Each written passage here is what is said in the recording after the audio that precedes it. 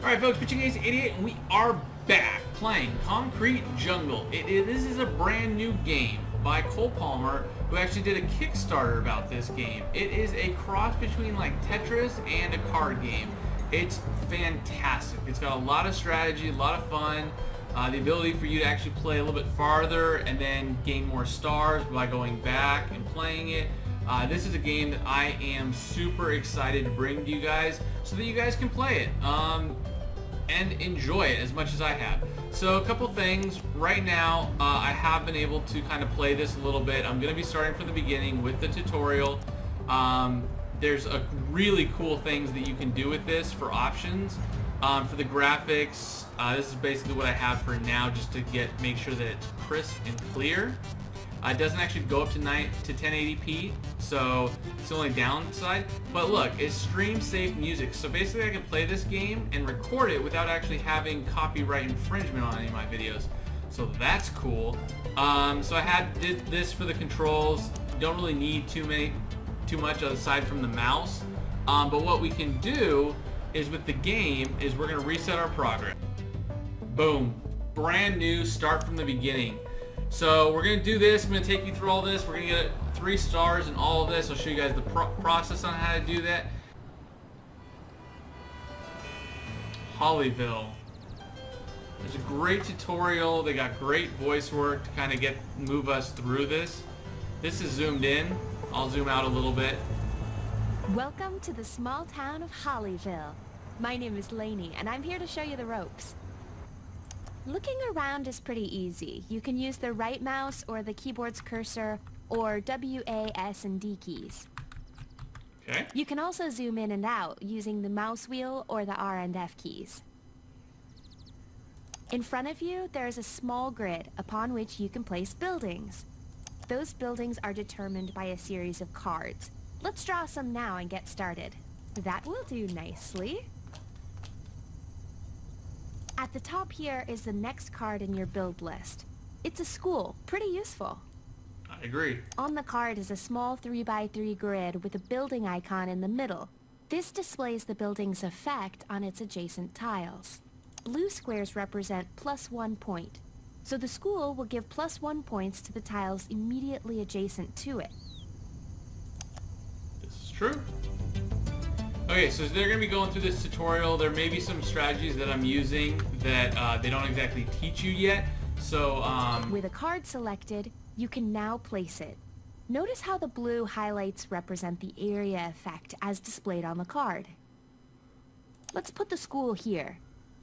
Okay, so this one they're going to force you. It's actually a good thing. The more that you can get the blue around and not like off is basically what you want to go for as a general rule. You'll notice there are now some plus score markers on the empty tiles that were affected by the school. If we place point collecting buildings on those positive scoring tiles, we'll get points. It just so happens the next card in your build list is a houses card. By far the most common point collecting building.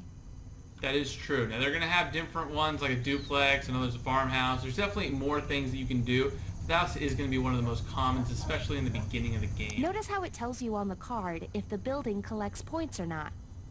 So let's get some points. Says it right there. So these things are all going to be kind of cool. This is basically to get new cards. Um, she'll explain that a little bit. This is basically if you get, you know, this one right here and it gets up to 60, instead of needing two points to create clear a uh, row, um, it'll jump up to three. So let's put the house where she wants us to. Great! We now have one point due to the combination of the school's area effect and the house. We have a target to reach for each column. Currently, that target is two. You can see your current target right here in the top right. Yep. In order to fulfill that target for each column, we need to use a combination of buildings that affect their surroundings and point collecting buildings. Next up we have a car wash. This card also has some red squares, which means it will have a negative effect on those tiles. But crucially, it has positive effects in the places we need right now to bring our house up to two. Select and place the car wash so that our house is given another point. Okay, so we are going to definitely do it that way. Um, there's a couple other things. You, it only allows you this this white border is actually the amount of cards you can choose from. Right now it's only one because we're at the very beginning. As you level up and you progress in the game, you're actually going to get more options to choose from. There's going to be cards that will discard, cards that are all negative, but they have the yellow, which again, you'll learn a little bit more about as she tells you. Uh, what we're going to do is, it really doesn't matter where we put it on one side or the other, but I do, because this row is basically going to go away. two points in the first column thanks to our house, school, and car wash. Mm -hmm. Also notice how the red negative area effect from the car wash canceled out one of the points from the school. Yep. Now the first column is complete. Look what happens. So plus four right here. See that? The column has been cleared. That means you bank the points from that column, which are then multiplied and added to your total score. It also means you get a new empty column to build in here on the right.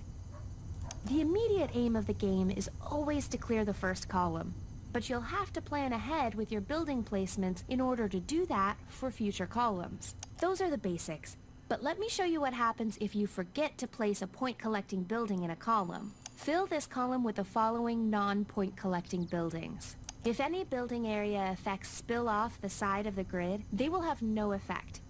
You can use this to your advantage sometimes. That's definitely true. So right here they're going to give you stuff, um, and unfortunately, none of these are point collecting. Now we have no point collecting buildings in this column.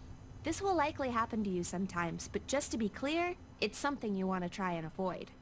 And not just because we have a brewery and factory next to a school. With no means of collecting points, this column cannot reach its target. Therefore, it's just going to sit there while we fill up the rest of the empty land. We need to force clear it. Once the first column is filled, you'll notice this little button flashing at you. All we have to do is click it to force clear, Yep. However, force clearing isn't free. It costs you one life. You can see how many lives you have left here. Make sure you use your lives sparingly. Once you run out, you'll fail the level. Now see if you can complete past this column here using the next batch of buildings. Yep. So now we're gonna try and get to here. Now this is the this is the end goal. So what we can do actually is we can basically clear this like these rows and then set this up and then clear even more rows behind it. There's there's different things that you can definitely do for this. Um, right now, again, we have to put a house. We can put a house there. I'm gonna put a house here just because I'm gonna be putting a school here. Um, the supermarket is really really good. and that's because we can we can try and figure out where to put it. Um, you can actually do something like this, which is very good. Um, and basically the red back here, I don't believe it transfers over. I haven't done something too crazy like that. Anyways, so we have to put this house down, but really, again, we're not going to be focusing on doing that just yet. We're going to be working on putting like this shop here. Um, we're going to end up putting this house here. Car wash is going to go here. It doesn't matter right here how many you do, as long as you fill those all up.